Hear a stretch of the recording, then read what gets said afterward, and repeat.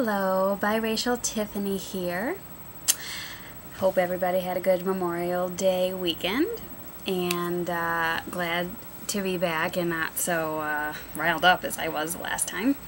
Um, but I think I'm happy with uh, what came out of that for me. It uh, sort of made it clear to me uh, why I'm doing this, maybe, or I don't know. Anyway, so I'm feeling good about things. Um, I did, I just wanted to clear up a couple more things, but it's not coming from a place of anger. I just, um, it kind of surprises me that people say that I seem, some people, and very few. And so these people, thank you for your comments, and of course, all the nice comments are really greatly appreciated. A little bit more because I'm a person and I'd rather hear nice things about myself. But anyway, um, I just don't really understand how someone could think that I hate black people or that I'm racist. So, you know, I don't watch these videos because I'm not a big fan of hearing myself talk or really looking at myself actually. Um, doing this has helped me with that. Uh, I can like stand the sight of myself or a picture or something and the sound of my voice doesn't bother me quite as much as it did before. Um, so I don't know what I could have said to give this impression. Um, but I love black people actually. And I wanted to buy that shirt that says I heart black people, but I wasn't sure that, I don't know, my intention would be taken the wrong way or something. So I never got it, which is kind of sad. But, um, yeah, I love black people. I love black women. Uh, I just, uh, it is a great tragedy to me, actually. Like a personal thing with me that I don't have closer relationships with black women. And that's part of the reason I think that I'm doing this. Uh, and I don't really know how to elaborate on that other than to say, um, perhaps for future generations. It, it may be it may help someone who's raising a biracial child to hear me talk about this and say, oh, maybe it doesn't behoove anyone for me to, um, you know, place in someone's innocent and clear mind that these kind of people are going to have this issue with you without, you know, letting experiences in your life teach you, you know, whether those things are going to be true or not. Um, but yeah, I I'm black and I love black people, so I just wanted to say that. And um, I would greatly appreciate people sort of just keeping their comments and their judgments. I mean, I guess I am saying if they're mean, like restrict them to talking about me because I'm the one who decided to do this. My mom did not decide to make YouTube videos. My dad did not decide to make YouTube videos. And I think it's unfair for them to watch this and sort of and read comments and be judged because I know that they did the best they could in any given moment because they love me very much. So, um, yeah, I would just appreciate cutting them some slack, I guess. And I also feel like my mom's getting like all this, oh, that's so sad, could she, and that's terrible. And I'm talking like three or four people, but I know she reads it, and anyway. Um, and, I, and I've been thinking, well, you know, why is that?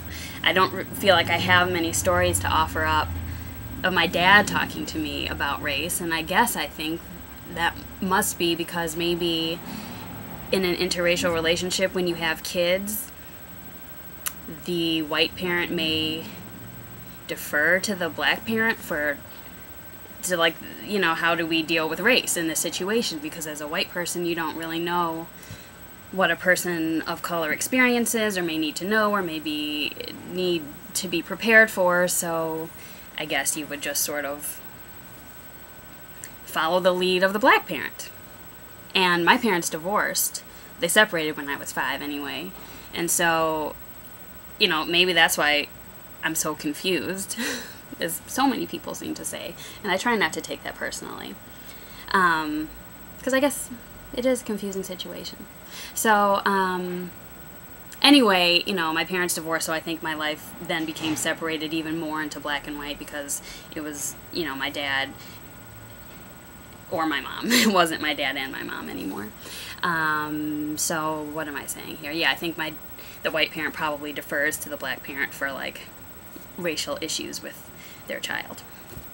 Um, but I, I also had pulled out some pictures because I thought maybe if I gave faces to these people or the situation, you know, I wouldn't have so much of that um, negativity toward my mother, especially coming up. So, um, I always have problems when I try to show people things on here, but I'm trying to learn to just keep it up a little higher than I have to. So here is a picture from when I was very little. My mom and my dad and me. Okay? And here is a more recent picture of my mom and I.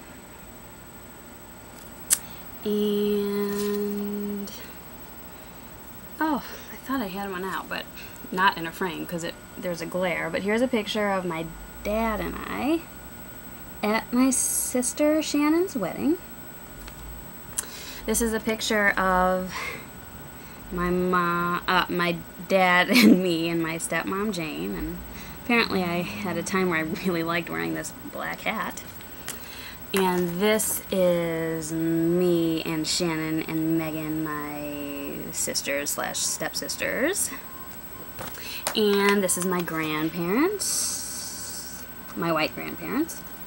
My black grandparents, unfortunately, are no longer with us. But I know it's so ghetto that it's a photocopy, like a Xerox of a picture of my mom's mom. Um, yeah, so that's some of my family. They're lovely, wonderful people, and they all care about me, the black ones and the white ones. Um, and I will offer up one last story before I go today. Um, I was thinking, you know, just again about how I keep having all these stories about my mom and my mom and my mom and how it pertains to race and me and my racial identity and so I was trying to think like what could I like what story do I have to say about my dad? And the one I can come up with is that when I was in maybe second or third grade um, and my parents were no longer together and when I would have my weekends with my dad I was at my grandparents a lot. And I don't know if at this time I, I don't know. Anyway the story takes place at my grandparents' house in Warren, Michigan, which is still a very white area. Um, it was in the summer, and I like I started. I made friends with this girl down the street whose name was Liz, and she was a few years older than me, and I thought she was really cool, and I was like so excited that this girl wanted to be my friend, and um, she came over on occasion and I went to her house. So this couldn't, I'm telling the story kind of out of order because it couldn't have all happened in one weekend. But the point is, we had been friends for a while and playing at each other's houses, meaning my grandparents' house and her house down the street. And then, like, she just kind of stopped hanging out with me or even talking to me.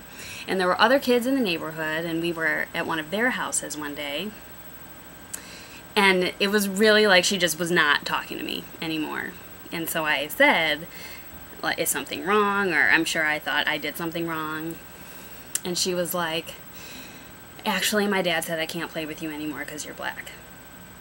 And not only did that, like, really, really suck, because obviously it would, but she, you know, like, we were in a group of people and she said this, so I was, like, doubly humiliated and I mean, really devastated, like devastated about this. And I remember that I guess, you know, my dad came home and my grandma told him what happened. And he was so mad. I just remember he was so mad. And I think he like wanted to go talk to this guy or more than talk to this guy. I don't know. And that kind of scared me, and it was like, oh, why does it have to be so hard? And I'm just as white as I am black, so why can't you play with me sometimes or something? I don't know. So that's just a, a story like that I feel like I have of my dad and I and race coming up because it just doesn't really. Um, so that's all. I am about to be overtime, so I'm gonna stop right now. Thank you for watching.